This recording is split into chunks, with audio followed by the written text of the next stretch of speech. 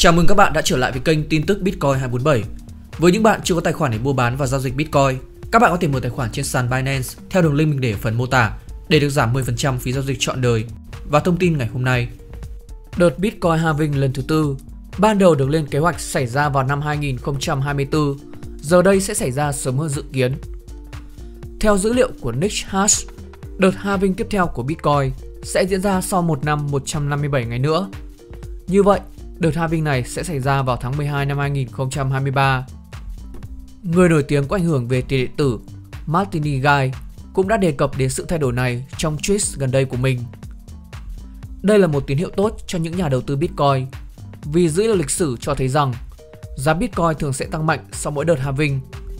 Ví dụ trong đợt Bitcoin halving vào năm 2020, Bitcoin được định giá ở mức 8.500 đô la, nhưng chỉ trong vài tháng, nó đã đạt hơn 27.000 đô la.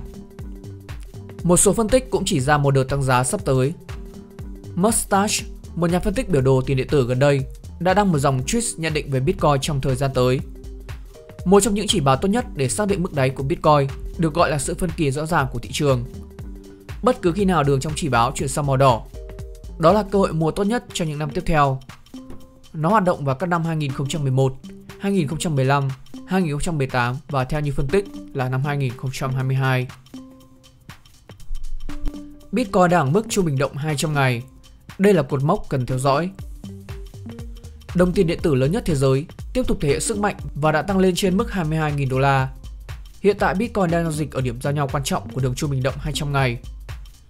Lần gần đây nhất, Bitcoin đã phải đối mặt với sự từ chối mạnh mẽ ở các mức này. Sau đó là một đợt điều chỉnh lớn.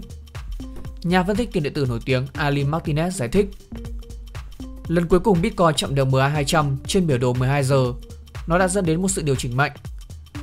Bitcoin cần phải đóng cửa trên 22.950 đô la ở biểu đồ 12 giờ để làm mất đi tín hiệu giảm giá. Ngoài ra, dữ liệu trên chuỗi về lãi lỗ được thực hiện của Bitcoin cho thấy rằng Bitcoin sẽ có lãi ở mỗi lần tăng giá. Tỷ lệ lãi lỗ được thực hiện cho Bitcoin hiện đang dưới 1. Điều này cho thấy một chu kỳ giảm mạnh. Glassnow giải thích, một quan sát thú vị là xu hướng tăng bắt đầu vào đầu tháng 6 và đạt đỉnh vào giữa tháng 8 sau đó giảm xuống 0,58. Mô hình này xác nhận lại hoạt động chốt lời tăng lên của các nhà đầu tư trong đợt phục hồi đó. Một số tín hiệu tích cực cho Bitcoin Sau khi giảm xuống dưới 20.000 đô la vào tuần trước, giá Bitcoin đã nhanh chóng phục hồi trở lại và đang giữ 20.000 đô la như một mức hỗ trợ mạnh. Nhà phân tích Ali Martinez cũng tin rằng đây có thể là đáy mới của Bitcoin.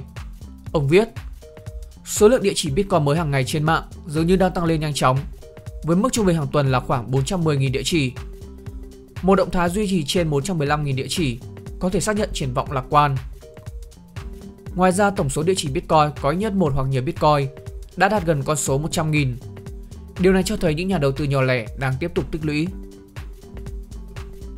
Và đó là nội dung của video ngày hôm nay. Hy vọng các bạn sẽ thích thông tin mình mang lại.